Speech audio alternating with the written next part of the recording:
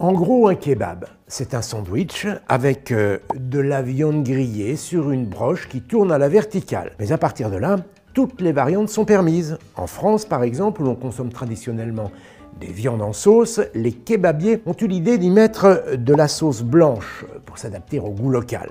Mais au Japon, il est présenté avec une sauce au curry.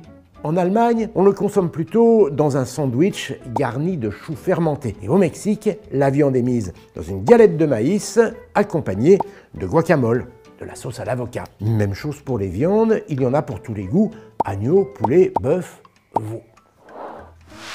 Même pour le pain, il y a le choix. Pain pita, baguette, tacos.